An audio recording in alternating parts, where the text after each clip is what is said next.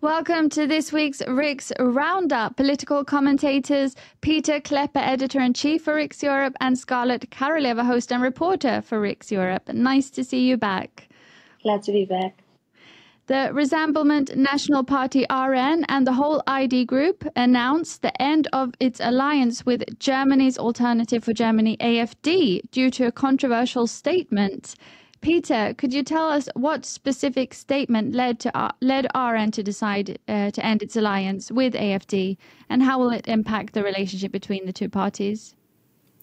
Well, the uh, lead candidate for the Alternative for Germany party, uh, Maximilian Krah, uh, he made some uh, very controversial uh, statements about the SS, the, the German Nazi army division during World War II.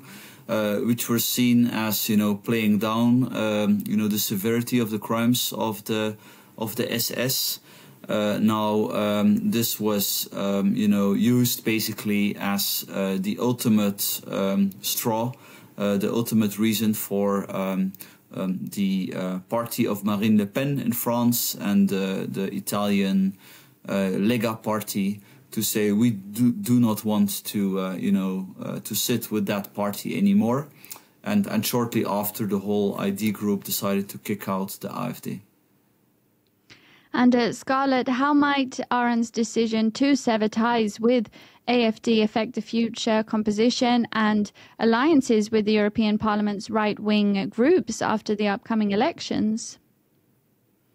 I think we first we need to understand why they made this decision because they clearly want to position themselves. And RN really said that they don't want this label as being seen as an extreme right party.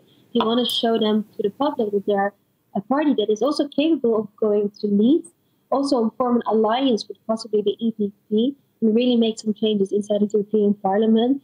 And ID clearly is following that path of wanting to show, like, look, we're here, we're reasonable, we're not as extreme right as they're trying to condemn us, and they're doing it by distancing themselves.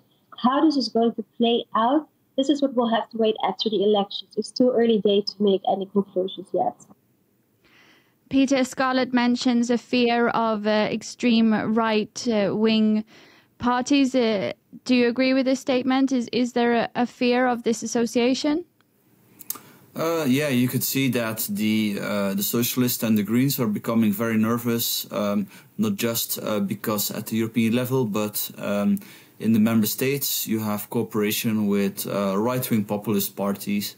I think far right is a bit of a uh, questionable label. People associate that with neo Nazis uh, and stuff. So so. Um, um, in the Netherlands, of course, there's now this, you know, this deal, but also in, in other countries, uh, you see right-wing populist forces um, working together, um, you know, on on uh, on government policy. And it's interesting that uh, Ursula von der Leyen, who's sadly likely to be uh, reappointed as Commission President, that she. Um, she seems to be open to working more closely with uh, the Prime Minister of uh, of Italy, which is also clearly from the right-wing populist uh, spectrum.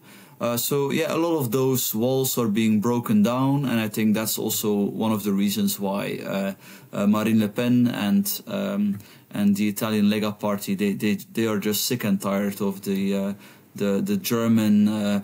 Uh, alternative for Germany, which is is not moderating, it's becoming ever more extreme. It's mostly the Eastern German faction that is coming up with ever more uh, radical uh, and uh, sometimes uh, you know even bizarre you know statements that um, that are are not doing anything to clean up the image of the of the party. Scarlett, uh, there's some trouble in the Renew Party. Could you tell us more about that? Yes, we're seeing an interesting case. So, as you know, I'm from the Netherlands, and we finally have a coalition after six months of endless negotiations. And part of that is the VVD. The VVD is a liberal party. It's part of Renew. And Renew party leader, actually, she's a French MEP. Her name is Valérie Hayer. Actually said that they want to have a vote after the elections to kick out the VVD because they're co-governing alongside Geert Wilders' VVD. Now, this is something that is sparking a lot of fear. Uh, we saw it yesterday as well during the debate of the EBU with all the Spitzenkandidat for the presidency of the European Commission. They want Renew to kick out the VVD because they're afraid of right wing parties coming actually into power and actually really starting to make policies on a national level. And I think it's really interesting because one last thing that I want to add to this the lady in question, we're talking about Valérie Hayer, the party leader, she's a French MEP. The Dutch people did not elect her. Yet she's feeling entitled to dictate us who should be in our coalition, who should govern us, regardless of the result of a democratic election. I think it really shows that Brussels is thinking they can really dictate for national governments how they should be governed they really want to have all those power, which should be actually on a national level. And uh, moving on to the UK general election set for July 4th. Pieter, what do you believe are the key issues that the voters should be considering in the UK, and what will they most likely focus on?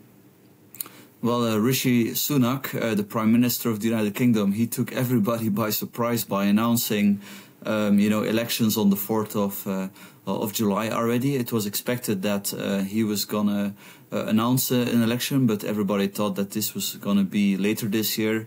And, uh, you know, it's a mystery why he did. Uh, no political commentator seems to be sure. Um, maybe there was a risk that he would be deposed as, you know, prime minister. Unlikely. Um, or he was just sick and tired, some people think uh, or um, he thinks that his the new inflation statistics will convince the British voter to vote for the Conservatives, which are polling very bad in the opinion polls. Um, so it's a bit of a mystery, but what we know is that um, the British Conservatives are likely to be kicked out of power after um, uh, 14 years. Uh, it's also interesting that Nigel Farage, uh, will not be running. He has announced that he will focus on uh, helping his friend uh, Donald Trump get elected in uh, in the United States uh, this year. Uh, so Farage will not play a major role. so um, in a way, this is good news for the Conservatives. But yeah, because of the fact that they have basically almost not um, fulfilled any of their promises made over um, you know 14 years. Eh?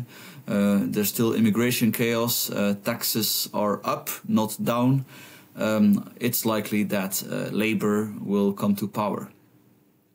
You mentioned uh, Nigel Farage's uh, absence from this election. How do you think that that might affect Reform UK?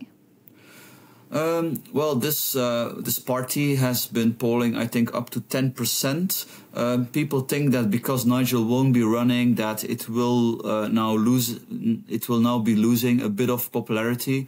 But you know, at the end of the day, it doesn't really matter that much. In the United Kingdom, it's very difficult to come up with a new party because they have a majority system, which means that in the electoral districts uh, you need to, um, you know, convince a majority of the voters in order to, you know, um, to have an elected uh, representative. So for newcomers, it is uh, very difficult. If you really want change, you need to work within the existing parties. Uh, and it is unlikely that Nigel Farage will pop up in the Conservative Party. At this point, it's, uh, it's too late uh, anyway. So that uh, concludes uh, this week's Riks Roundup. Thank you, political commentators Pieter Cleppe, editor in chief for Riks Europe, and Scarlett Karoleva, host and reporter for Riks Europe. And thank you, as always, for watching RIX Europe.